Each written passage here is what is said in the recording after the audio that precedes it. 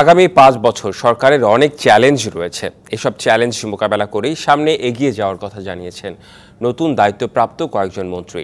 সকালে রাজধানীর ধানমন্ডিতে জাতির পিতা বঙ্গবন্ধু শেখ মুজিবুর রহমানের প্রতিকৃতিতে শ্রদ্ধা জানিয়ে তারা বলেন, নিজেদের কর্মদক্ষতা বাড়িয়ে দীর্ঘমেয়াদী পরিকল্পনা করেই সব কাজ বাস্তবায়ন করা হবে।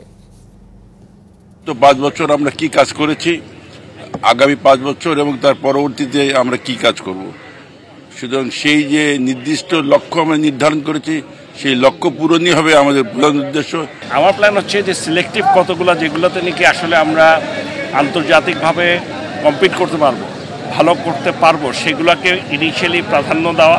আমাদের সরকারি কর্মকর্তা তাদের আরও দক্ষতার সাথে কাজ করতে হবে। এবং আমাদের যে এই পাঁচ বছর অত্যন্ত গুরুত্বপূর্ণ দেশকে এগিয়ে নেবার জন্য আমাদের পরিকল্পনা আছে, মহাপরিকল্পনা আছে। আমাদের আমাদের যে এসডিজিস গোল আছে অষ্টম পঞ্চবার্ষিক পরিকল্পনার পরে নবম পঞ্চবার্ষিক পরিকল্পনা হবে। আমাদের দু হাজার একচল্লিশের উপকল্প। সব মিলিয়ে আমাদের অনেক চ্যালেঞ্জ কিন্তু মোকাবেলা করতে হচ্ছে। অন করুন ভ্যাকেশন মোড এনার্জি সেভ করুন নিশ্চিন্তে। ওয়ালটন স্মার্ট ফ্রিজ বোঝে আপনার প্রয়োজন। নদী দূষণ, বায়ু দূষণ, শব্দ দূষণ, এসব সব কিছু আমাদের চ্যালেঞ্জ এবং বাংলাদেশ আওয়ামী লীগের নির্বাচনে ইখতিয়ারে যেটা বলা আছে যে বন সংরক্ষণ, সেটা আমরা করব।